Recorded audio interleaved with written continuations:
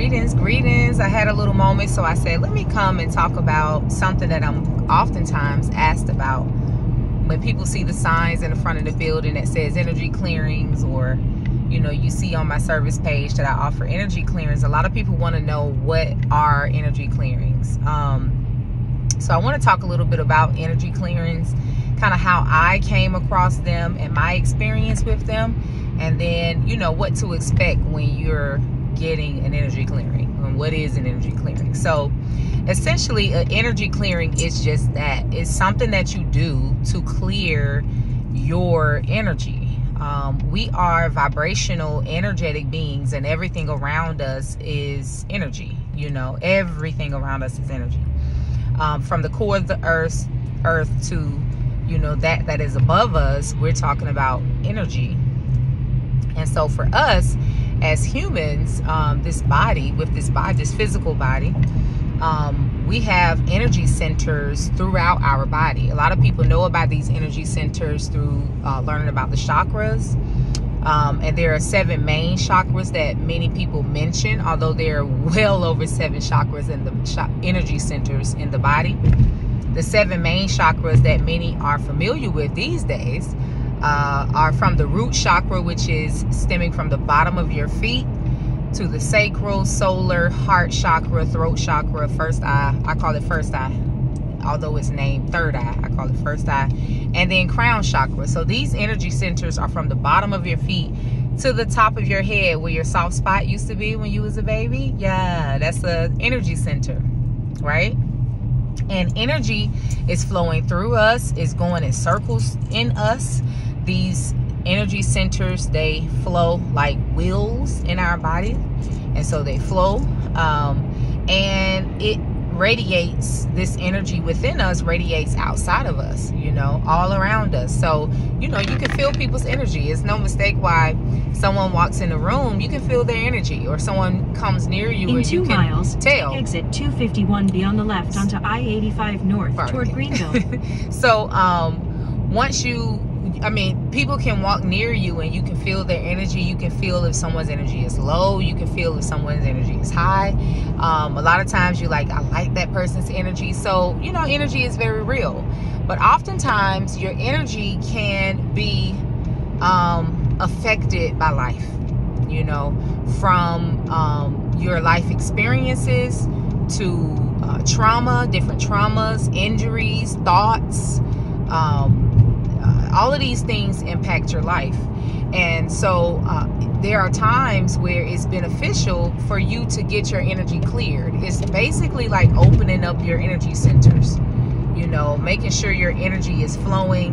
Um, for me when i do energy clearance i focus on the chakras but you don't necessarily have to focus on the chakras but essentially that's what you are working with the chakras when you do clear energy. And um, so that's really it. And there are many ways that you can clear energy. One of the most one of the easiest ways that we all have access to is the breath. You know when we breathe deeply we're clearing our energy. Oftentimes when i'm, guiding people through meditation i'll say allow that exit that inhale to expand the chest expand the heart and so when you're focusing on putting the breath or breathing that inhale into the chest and expanding the heart, you will feel a relief. You know, you will feel your energy is relieved. You will feel tension coming out your body. Um, and it's because when we go through certain things, even when we're thinking certain things, when we're having certain conversations, when we're doing any of those things, sometimes it can, we store the stress of it all in our bodies, in our shoulders, of course, that's where a lot of people feel it, but also in our chest. You know, we begin to breathe, breathe shallow. We begin to hold on to uh, tension, and that really, it really like what what is what many call it is like blocked chakras. It block it blocks energy because energy doesn't stop so it's not gonna stop your energy, you know, but it could block it. And anything, anytime you see a, when you experience a block in life, it could cause problems in other areas. And so energy clearance really helps so that that energy is flowing. Now, why is it important for your energy to flow? You know, it's important for your energy to flow so that you can think clearly, so that your body can function properly, um, so that you can, you know, um, sometimes when your chakras are blocked, you your your inspiration goes down, your motivation goes down. You can experience depression. A lot of times, you can find you can identify if your chakras are blocked or your energy is blocked by how you're behaving Oftentimes, when individuals are experiencing blocked chakras, they are uh, find themselves super controlling, super um, uh, anxious, um, sad, you know, those type of things because the energy is not flowing. And think about it, you know, when you're feeling like that, if you go and you take a run and you, you got the breath activated, your energy is flowing in the body, you feel better or if you go and you do meditation or breath work, you feel better. So it all is working with and manipulating energy, right? Um, and clearing it just means unblocking it. And so for me, I came across this notion of energy clearing when I started to practice meditation and breath work. When I started to do uh, Reiki with one of the, my favorite Reiki masters, you know, and she began to work on the energy um, when I, I ran into my uh, massage therapist who is also a energy guru you know um, she would focus on certain chakras when we did our sessions. Um, so it wasn't just massage she was also helping to clear energy. So um, that's my introduction to it and it, it, it was very helpful. I can so tell the difference. Um, it just you know I don't know, like it really ushered me into this space of relaxation, of surrender. You know, um, it helps me in times when, you know, your mind can convince you that, you know, you're stuck or things are not going well or whatever. You know, focusing on the breath is my way of doing it. You know, when I can't go to the Reiki specialist or massage therapist or go and get an energy clearing, breath work is my way. And so for me, when I offer the chakra or the energy clearings, I offer two types of energy clearings the full chakra energy clearing and the basic energy clearing. Um, the full chakra energy clearing is where you lay down on the um, massage bed, uh, back on your back, and I lay out gemstones, which help with the energy clearing process because they store energy. And those gemstones that I choose neutralize energy as well as uh, they pull out or cleanse energy. So I use some cleansing energy. And then by the end part, I start to use some of the amplifying stones, like a citrine and your quartz and those type of things. I'll use those at the end. Um, I also use sound because sound shifts energy. I also guide you through breath work throughout the time. So I'm using your breath. I also use music because thoughts and the mind shifts energy. So I'm playing things that may be stimulating the mind in a certain kind of way where it's shifting your energy. And that's about an hour session. And so as I move you through this process, your energy is clearing and you're gonna feel it. Oftentimes you may, people may um, tear up. Some people may um, fall asleep. um, you know, emotions can run high, you know, or you just feel at peace, bliss. Like I, I get a lot of people who say, you know, I felt just so blissful.